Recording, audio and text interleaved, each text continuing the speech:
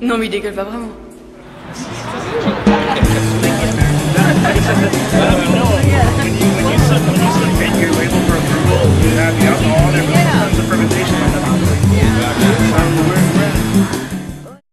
Hello, everybody, and welcome to Wine on Main TV. I'm your host, Eric Tansey, and today's wine that we have on the tasting block is Montebuena from the Rioja region of Spain. It's 100% Tempranillo, uh, stay bottled. Uh, all the grapes in this bottle were hand picked. It also got 90 points from the uh, Stephen Tanzer's International Wine Cellar. So if you're into the wine rating system, this wine got 90 points. The vintage on it is 2012. Retail here in the shops, $14.99. Uh, and we also have it just tasting by the glass. So come on in and have a, have a glass. Uh, the reason why I chose this wine today is because Father's Day is coming up. This is a very manly wine, very good wine for Father's Day. Uh, so I've got two sons at home. Guys, if uh, honey, if you're watching the video, uh, there, there might be a couple of clues in here uh, for Father's Day. Color of this wine is going to be a reddish brown. On the nose, uh, I get that vanilla bean, not that oak bomb California cab uh, oak, like the, not the sweet, the sweet vanilla, not that smell. Uh, what I get more here is like a more earthy vanilla bean smell with a dark cherry, um, with a little bit of dark cherry and a little bit of smokiness to it.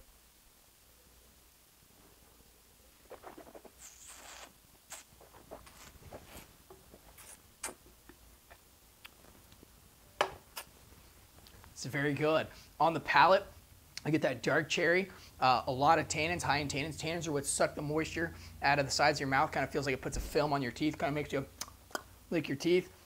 Uh, high in tannins, so sharp cherry on the front of the palate, a lot of tannins covering the uh, sides of my mouth, and then on that finish, it's that dirty, earthy. Uh, you can really taste the terroir of Spain. Terroir being the earth, the ground, the soil that, that it was grown, and you can really taste this kind of that, that dusty, gritty taste behind it. Um, again, this is an old world style wine made in Spain, so it's going to be made to pair for food. And already I feel like an on deck batter, like, you know, when you're in the batter circle and you're ready to get up to the plate and swing away. Uh, while I'm drinking this wine, I feel like I'm on deck to be eating something off the grill. Right off the, like, right in my mind right now, just tasting this wine, I'm thinking of a pork belly. I think this would pair really good with a pork belly or a marbled steak or dry rubs ribs. But while I'm drinking this, I feel like I need to be having something on the grill. So if you're grilling out for Father's Day, this is the wine. It's a very, very uh, rustic and manly style wine. Very, very good, very tasty. $14.99 is a really good deal on that too. Um, I also kind of went around the shop looking for stuff that I would want for Father's Day. I'm just going to go ahead and start with uh, the coolest things that I thought were, were right off the bat awesome. Um, Old Mill of Guilford Stone Ground Whole Wheat Buttermilk Pancakes. I think on Father's Day, hint, hint, this would be awesome with breakfast in bed with like five pieces of bacon and a glass of Monte Rioja that's just me. Maybe I'm weird, but that we have this here at the shop, so come check it out. Also, these are really awesome.